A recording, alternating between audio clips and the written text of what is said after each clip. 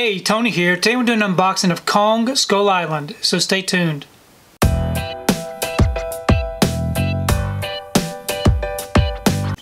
So with the upcoming release of Godzilla vs. Kong coming out, today I wanted to take time to show you the Kong Skull Island Best Buy exclusive steelbook. So here's the front, and here's the back. Now if you'd like to check out these special features, you can go ahead and pause and do so.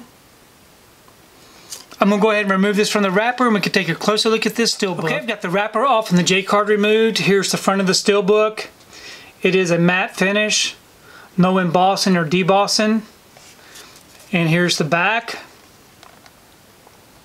Open it up. Really nice looking artwork. And then on the inside, we do have our digital code and we have three discs. We have our Blu-ray disc. We have our 4K disc with different artwork.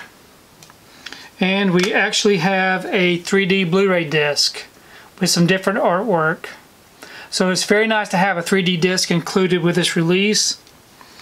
And then here's some inside artwork. So overall, this is a really beautiful looking steelbook. Okay, I've gone ahead and I placed this steelbook inside this protective bag. Now this bag will help keep the steelbook from getting scuffed up on the shelf up against the other steelbooks. I do have an affiliate link down below if you'd like to check out where I purchased these bags off of Amazon. Please leave me a comment below. Let me know what you think about this particular steelbook release. And also let me know what you think about Kong Skull Island. Me and my wife did see this one in the theater back when it was released and we really enjoyed it. And we're definitely looking forward to Godzilla vs. Kong.